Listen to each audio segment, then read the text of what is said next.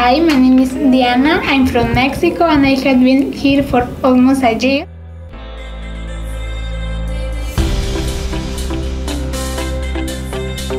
It is school. I had the opportunity to meet with many people from around the world.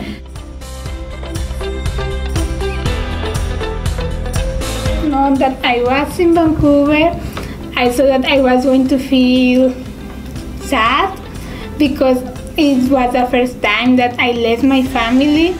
But when the first time when I arrived and I saw my homestay, she was so polite with me.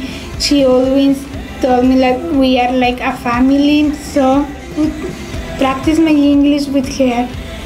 And honestly, I love them like my family.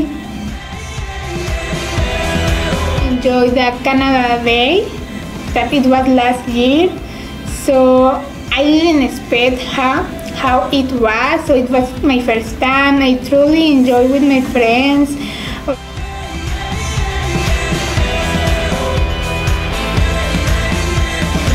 de conocer en la escuela, les deseo lo